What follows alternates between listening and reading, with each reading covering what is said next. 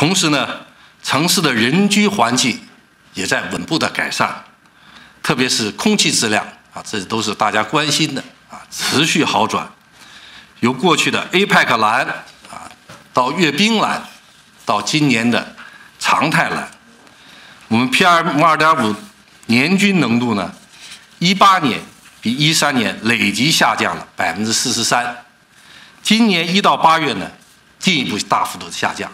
下降到四十二微克每立方米，特别是八月啊，我们达到了二十三微克每立方米，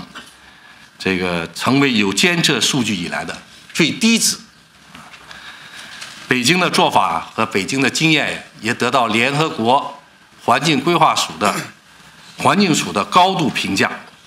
啊，他们认为啊，北京的大气污染治理用二十年的时间走完了。伦敦用三十年的时间，洛杉矶用六十年时间走完了大气污染历程，为世界其他城市大气污染治理啊提供了北京的经验和北京的样板。更多精彩尽在中国新闻网客户端。